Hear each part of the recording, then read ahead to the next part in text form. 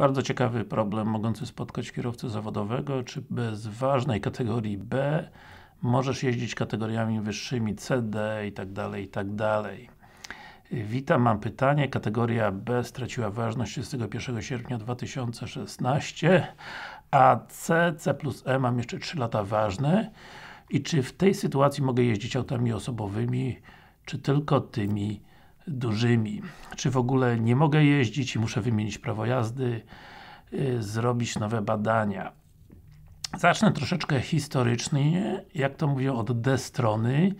Kiedyś, bardzo, bardzo dawno temu, od początku do końca lat 90. poborowy w wojsku mógł sobie od razu zrobić kategorię C, a być może i D i jeździć sobie tylko ciężarówką i autobusem, oczywiście jak już do cywila sobie yy, wrócił. Natomiast nawet za jazdę po alkoholu sądy często zabierały tylko tą kategorię, na której Cię złapali, czyli jak jechałeś ciężarówką yy, pijany oczywiście to zostawało Ci B, no ale bywało odwrotnie jak jechałeś na motorze zdarzało się, że zabierali tylko A. Potem jakoś to unormowano w kodeksie drogowym i wprowadzono przepis, który zacytuję Ci troszeczkę w zmienionym brzmieniu, ale w sumie w obecnym i znajdziesz to w ustawie o kierujących y, pojazdami. I jest taki punkt czwarty, czy ustęp czwarty y, dodatkowym warunkiem wydania prawa jazdy.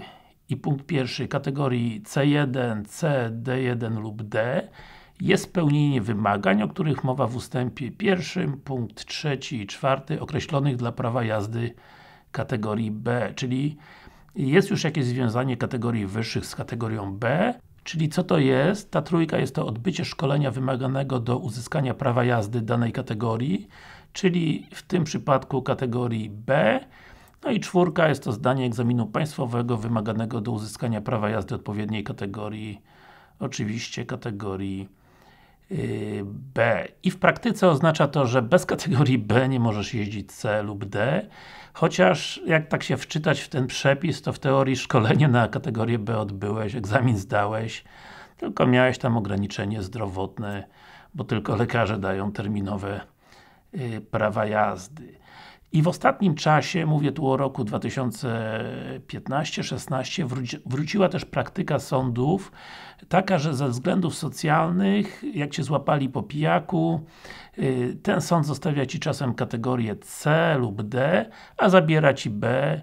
No, szczególnie tu chodzi o kierowców zawodowych, aby tenże kierowca miał z czego żyć. Mam nadzieję, że taki przypadek Cię nie spotkał, bo ta sztuczka może się udać tylko raz. Jak Cię złapią drugi raz po pijaku już na kategorii C, czy, czy jakiejkolwiek kategorii, to y, jak to mówią, umarł w butach.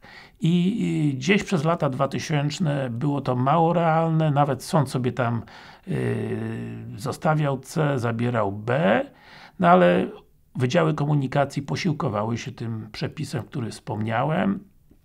No oczywiście w tych czasach zamieszłych, w latach 90. było troszeczkę inaczej. Także, co ten kierowca lub Ty, jeżeli masz taką sytuację, powinieneś zrobić? No, sprawa bardzo prosta.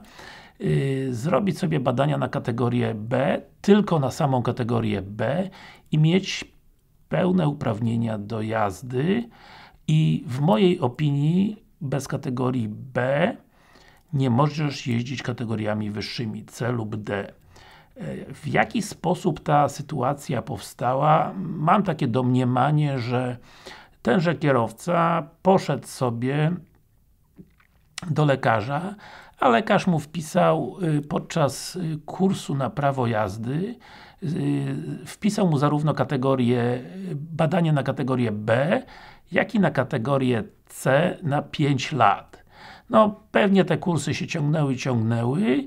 Y, kierowca skończył kurs na kategorię C i poszedł zrobić świadectwo kwalifikacji. Przypuszczam, że trwało to co najmniej dwa lata i nagle co się robi? B się, y, B się kończy, prawda? A z kwalifikacji ma ciągle y, zrobionej dwa lata później, czy trzy lata później ma tą kategorię C ważną jeszcze tam na parę lat.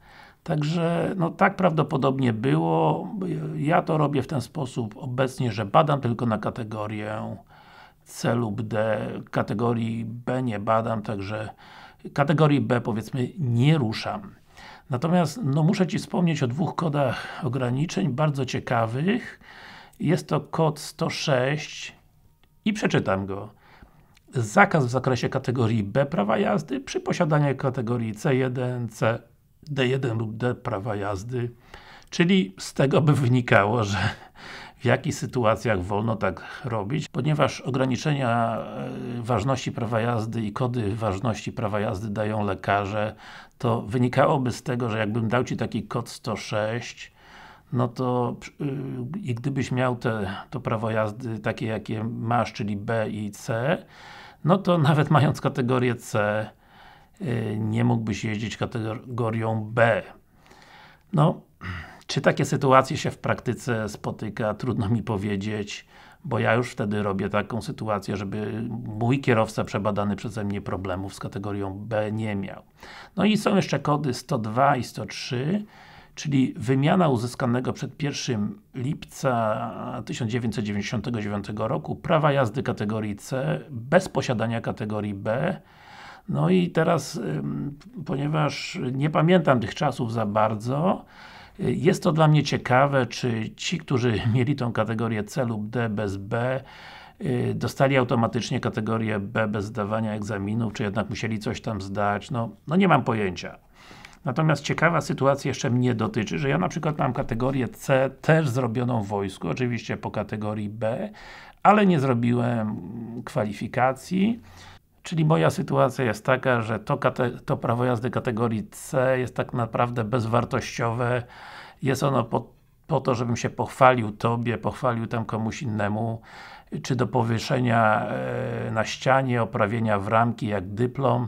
Natomiast tak naprawdę nie mogę jeździć prawem jazdy, nie mogę jeździć pojazdami kategorii C z prostego względu, że nie zrobiłem tak zwanych kwalifikacji. Także na tym kończę.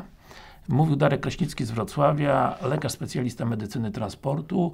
Przepisy przepisami, ale tak naprawdę yy, bardzo byłbym ciekawy Twojej sytuacji, jeżeli masz taką podobną, że bez kategorii B jeździsz C lub D, czy jakoś tam inaczej, czy jest to w ogóle w Polsce możliwe? Bo mówię, przepis przepisem, Y, można sobie interpretować jak się chce, przynajmniej ja mogę, ale tak naprawdę wyznacznikiem jest ta panienka w urzędzie, która to, ona to interpretuje, y, czy tam jakiś sąd, czy jakakolwiek inna sytuacja, która powoduje, że bez kategorii niższych, kategorii B, jeździsz kategorią B. Także jeszcze raz kończę.